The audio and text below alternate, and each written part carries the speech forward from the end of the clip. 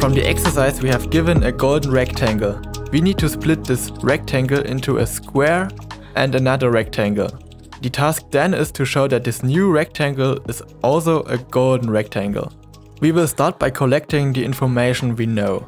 We know that the ratio from A to B is the golden ratio, meaning that A divided by B equals 1 plus the square root of 5 divided by 2. And in this exercise I will call this golden ratio phi. But what do we actually need to show? Well, we have this new rectangle here and we need to show that the ratio from its width to its height is also the golden ratio. So we need to show that if we divide the width by the height, we also get the golden ratio. And we can easily see that the height of the rectangle is b. And because the whole width of the big rectangle is a, and the square has the dimensions b times b, we know that the width of our new rectangle is a minus b. Hence we need to show that b divided by a minus b is the golden ratio. But in order to do this we need to get rid of all the variables inside this term because as you can see here, the golden ratio is just a number. Therefore we will start by replacing either a or b with the information we know.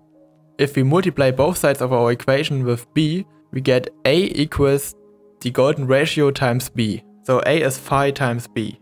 And now we can plug a into this term here. And we get b over phi times b minus b.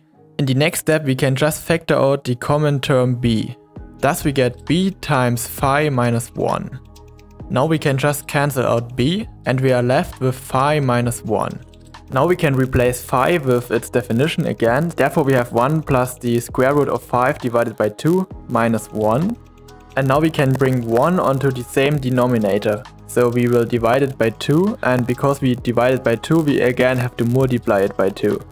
This is the same as 1 plus the square root of 5 minus 2 over 2 and then we just have negative 1 plus the square root of 5 over 2, which is the same as 1 minus the square root of 5 over 2, which is also the golden ratio.